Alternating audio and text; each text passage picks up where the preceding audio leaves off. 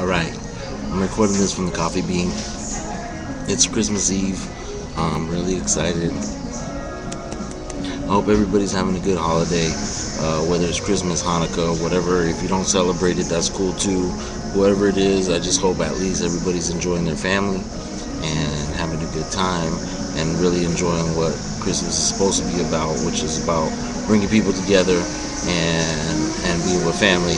Unfortunately, this year I can't be with all my family, but I love you guys. You know who you are: Joseph, Susana, my dad, my mom, my tios, my tias, my cousins, my third cousins, my cousins' babies. We've had five new babies this year, um, and I'm the oldest cousin, and I still haven't had any babies. Maybe it's 2012. We might start working on it. I doubt it though anyways, I want to say uh, Merry Christmas and a prosperous New Year for next year. And make sure you follow me on Twitter.